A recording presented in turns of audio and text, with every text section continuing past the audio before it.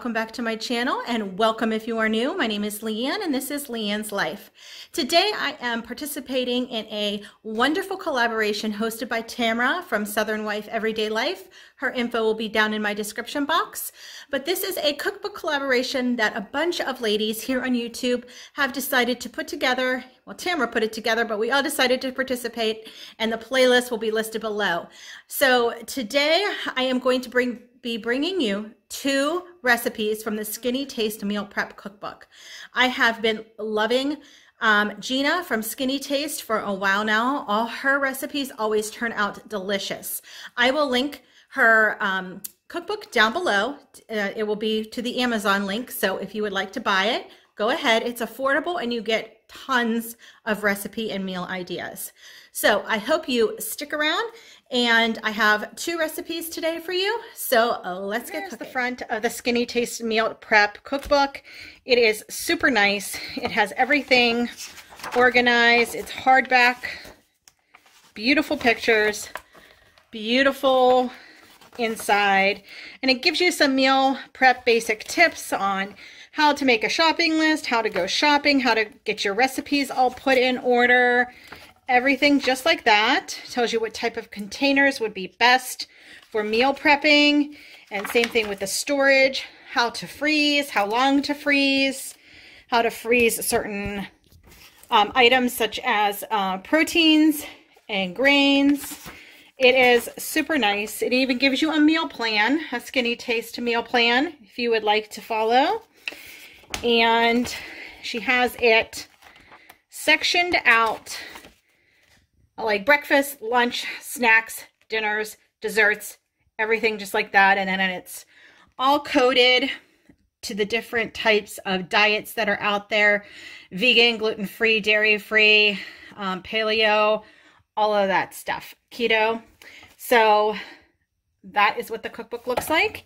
And this is the first one I am going to make are these turkey taquitos. They look like this. I'm not going to show you the recipe I don't know anything if it would affect copyright or anything, but like I said, I will have the book listed down below in um, so you can get it on Amazon. Into the small bowl, you're going to combine all your seasonings. I'm going to start with garlic powder.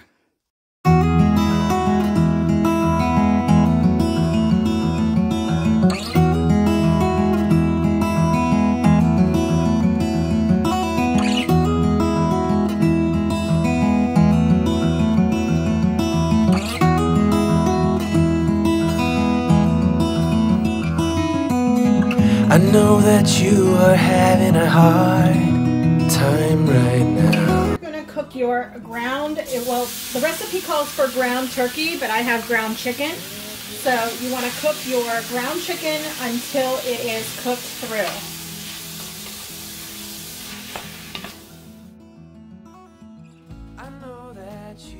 So while your ground meat is cooking up, you want to prep your produce. You need some onion, some cilantro, I added some jalapenos just because I like that, some lime wedges, and some iceberg lettuce chopped up.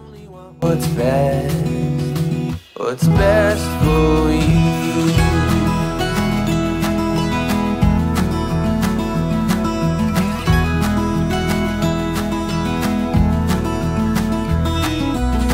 I know that you are having trouble believing right now. That everything is gonna be, is gonna be alright.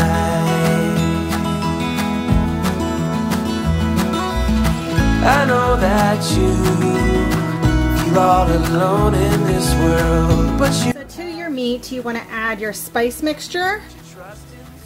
You want to add in eight ounces of tomato sauce and a quarter cup of water.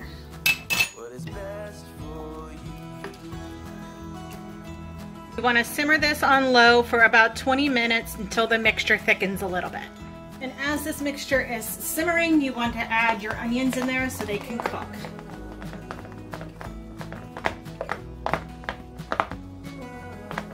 And just because I like things a little spicy, if you are new here, you need to know that I kind of deviate from recipes just a little bit, just because of certain flavors that I like. I'm going to add a little bit of jalapeno.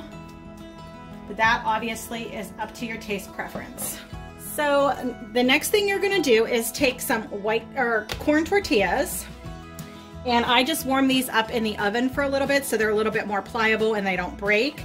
So what you're gonna need to do is put about two tablespoons of the meat mixture at the bottom and some cheese over top of that. And then you're going to want to roll them up, seam side down, and place them in a baking sheet, on a baking sheet or in a baking pan. So I'm just gonna get these rolled up. As I was rolling these corn tortillas and putting them in a baking dish, I realized these would be probably even better in an air fryer.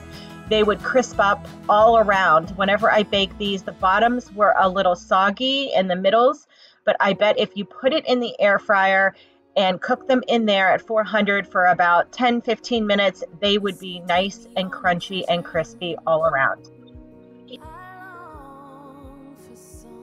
Next, you want to spray the um, corn tortillas with some olive oil. So they get nice and crispy and you're going to bake them in the oven at 400 for about 15 minutes. So here are the final taquitos. I think they look delicious. The cheese melted beautifully. And I just dressed it up with a bed of lettuce, just like she had in the picture, with some cilantro on top. And you have some avocado on the side with some lime. And I added this taco sauce, picante sauce, just for a little color because I thought it needed some red, a little bit more color on the plate. But aren't they? They smell delicious. They smell just like a Mexican restaurant. So can't wait to dig in. So the next recipe out of this Skinnytaste Meal Prep Cookbook that I'm going to be making is this breakfast fried rice. And this is what it's going to look like after. I've actually never had breakfast fried rice. Very neat idea. So let's get cooking. So here are the ingredients you're gonna need. You're gonna need some eggs, some green onions. You're gonna need both the green part and the white part, some bacon, some salt, some cauliflower rice and regular rice. Day old would be the best, but reality, I just made this. So they always say to when you make fried rice, it should be a day old rice. But we have some uh, rice over here, some olive oil spray. Um, it calls for sriracha, but I don't have sriracha, but I have this chili garlic sauce, which I think is very similar to sriracha some avocado oil, and some soy sauce. So into a bowl, you're gonna want to whisk up your eggs, and then you're gonna add a pinch of salt to them.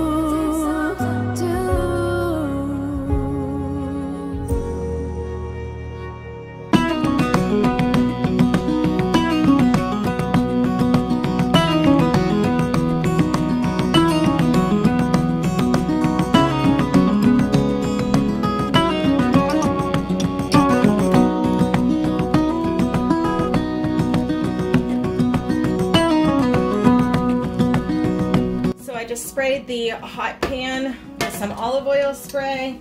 Next, we're going to put down the eggs and we are going to scramble them for about one to two minutes.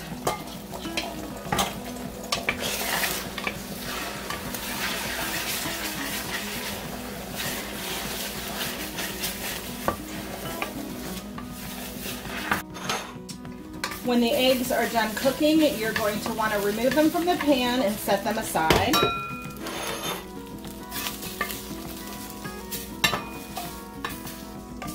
Next, you're gonna want to cook your bacon. And just to make it easier, I uh, sliced up the bacon before I cooked it. And make sure to cook the bacon thoroughly.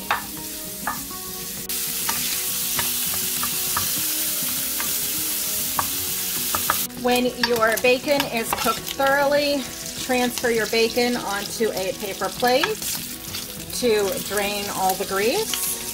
So I took a little bit of the bacon fat out, but it says to leave about a teaspoon in the bottom of the pan.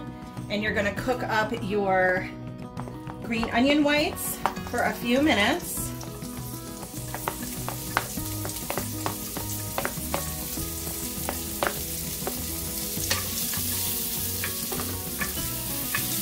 Next, you're gonna wanna add your riced cauliflower. And be careful because mine is actually still frozen. And you're gonna cook this until it softens up. Then to the cauliflower rice, you're gonna add your low sodium soy sauce. Give that a good stir. And then you're gonna add your two cups of cooked rice.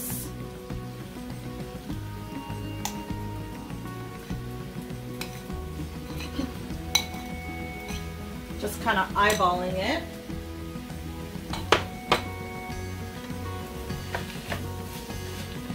Give that a good stir. Next, you're going to want to add in your bacon and your egg.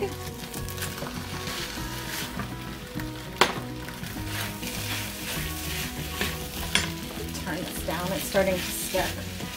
Next, add in your two teaspoons of sriracha. Again, I'm using the, the garlic paste, the chili garlic paste. And I like spicy stuff, so I think I'm gonna add a third one.